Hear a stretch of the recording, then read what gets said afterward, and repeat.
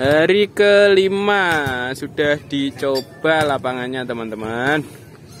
Ini sore hari karena kemarin masih sibuk kita ngurusin izin-izin dan sebagainya dan ke PBSI juga dan pokoknya tentang tanda tangan tanda tanganan teman ini alhamdulillah sudah clear semua dan ini lapangan sudah dicoba sama teman-teman. Nanti tinggal sisanya kita bikin barikade keliling lapangan. Situasi terkini ini sekitar jam 5 sore. Sudah dicoba sama teman-teman warga sekitar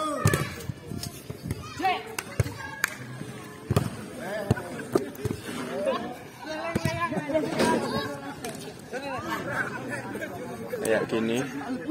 Nanti di sekitar sini ada barikade teman-teman. Keliling untuk sponsorship.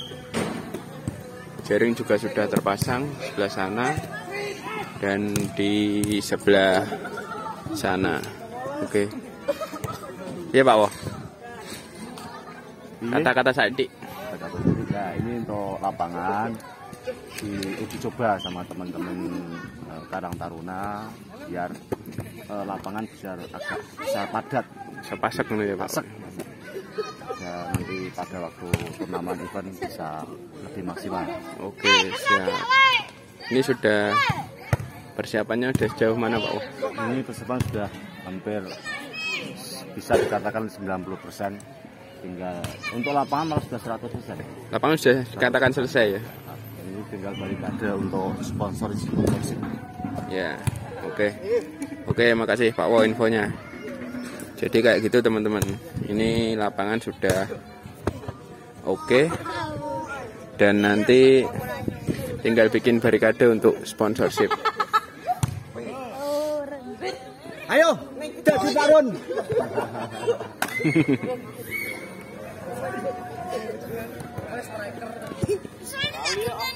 kita lihat mainan poli dulu. Dengan teman-teman juga jarang latihan di sini.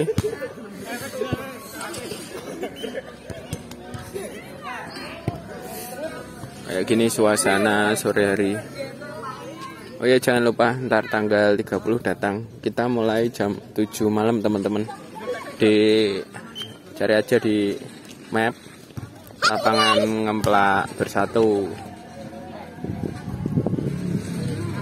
Kita mempertandingkan 16 putra 16 putri teman-teman. Untuk total hadiah 20 juta. Mohon doa restu juga buat teman-teman agar acaranya lancar. Menyambut hari ulang tahun kemerdekaan RI yang ke Piro? Lali. Oke mungkin segitu dulu vlog kali ini. Kita juga masih coba-coba lapangan di sini. Maaf bila ada salah kata. Dan selamat sore. Wassalamualaikum warahmatullahi wabarakatuh. Siap